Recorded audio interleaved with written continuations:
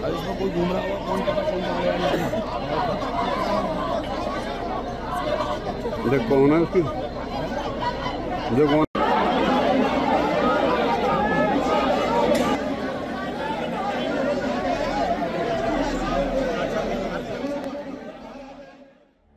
ਤਸਵੀਰਾਂ 'ਚ ਨਜ਼ਰ ਆ ਰਿਹਾ ਇੱਕ ਖੌਫਨਾਕ ਮੰਜ਼ਰ ਜਿੱਥੇ ਇੱਕ ਪਾਣੀ ਦੀ ਟੰਕੀ ਕਈ ਫੁੱਟ ਉੱਤੋਂ ਹੇਠਾਂ ਡਿੱਗੀ ਹੈ ਜਿਸ ਕਰਕੇ ਰਾਹ ਆਉਂਦੇ ਜਾਂਦੇ ਲੋਕ ਇਸ ਦੇ ਮਲਬੇ ਹੇਠਾਂ ਆ ਗਏ ਅਤੇ ਇੱਕ ਬੱਚੀ ਸਣੇ ਇੱਕ ਔਰਤ ਦੀ ਮੌਤ ਹੋ ਗਈ, ਜਦ ਕਿ ਕਈ ਲੋਕ ਜ਼ਖਮੀ ਨੇ, ਹਸਪਤਾਲ ਦੇ ਵਿੱਚ ਜ਼ੇਰੇ ਇਲਾਜ ਨੇ।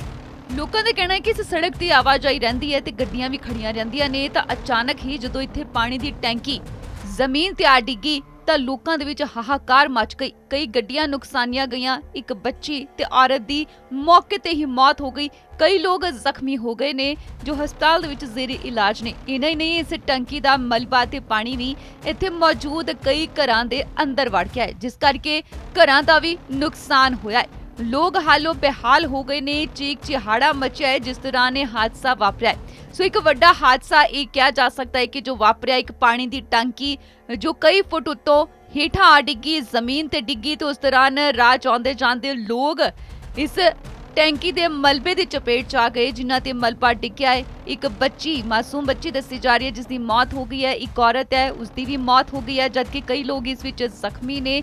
ਆਪਣੇ ਪਰਿਵਾਰਾਂ ਲਈ ਇੱਥੇ ਲੋਕ ਵਿਰਲਾਪ ਕਰ ਰਹੇ ਨੇ। ਚੀਕ ਚਿਹਾੜਾ ਮਚਿਆ ਹੋਇਆ ਪੂਰੇ ਸ਼ਹਿਰ ਦੇ ਵਿੱਚ। ਤਸਵੀਰਾਂ ਮਥੁਰਾ ਦੀਆਂ ਨੇ। ਮਥੁਰਾ ਦੇ ਕ੍ਰਿਸ਼ਨ ਵਿਹਾਰ ਦੇ ਵਿੱਚ ਇਹ ਵੱਡਾ ਹਾਦਸਾ ਵਾਪਰਿਆ ਹੈ।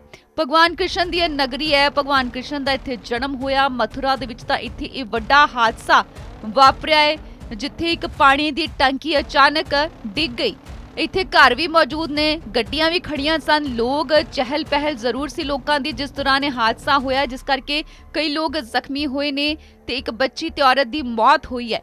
ਸੋ ਚੀਕ ਚਿਹਾੜਾ ਹਲੇ ਵੀ ਮਚਿਆ ਹੋਇਆ ਹੈ। ਇੱਥੇ ਰੈਸਕਿਊ ਆਪਰੇਸ਼ਨ ਵੀ ਚਲਾਇਆ ਜਾ ਰਿਹਾ ਹੈ। ਪਰ ਤੁਸੀਂ ਹਾਲ ਦੇਖੋ ਤਸਵੀਰਾਂ ਦੇ ਵਿੱਚ ਕਿ ਕਿੰਨਾ ਮਾੜਾ ਆ। ਪੂਰੇ ਇਲਾਕੇ ਦੇ ਵਿੱਚ ਮਲਬਾ ਖਿਲਰ ਗਿਆ ਹੈ ਇਸ ਪਾਣੀ ਵਾਲੀ ਟੈਂਕੀ ਦਾ, ਜੋ ਕਿ ਕਈ ਫੁੱਟ ਉੱਤੋਂ ਹੇਠਾਂ ਡਿੱਗੀ ਹੈ। ਤਾਂ ਲੋਕ ਇੱਥੇ ਰੋ ਰਹੇ ਨੇ। ਘਰਾਂ ਦੇ ਵਿੱਚ ਜਿਨ੍ਹਾਂ ਦੇ ਪਾਣੀ ਤੇ ਮਲਬਾ ਚਲਾ ਗਿਆ, ਉਹ ਬਾਹਰ ਕੱਢਣ ਦੀ ਕੋਸ਼ਿਸ਼ ਕਰ ਰਹੇ ਨੇ। ਹਸਪਤਾਲਾਂ ਦੇ ਵਿੱਚ ਜੋ ਲੋਕ ਜ਼ਖਮੀ ਪਏ ਨੇ, ਤਾਂ ਉਹਨਾਂ ਦੇ ਪਰਿਵਾਰ ਵੀ ਰੋ ਰੋ ਬੇਹਾਲ ਹੋ ਗਏ ਨੇ ਤੇ ਜਿਨ੍ਹਾਂ ਦੀ ਮੌਤ ਹੋਈ ਹੈ, ਉਹਨਾਂ ਪਰਿਵਾਰਾਂ ਦਾ ਵੀ ਬੁਰਾ ਹਾਲ ਹੈ।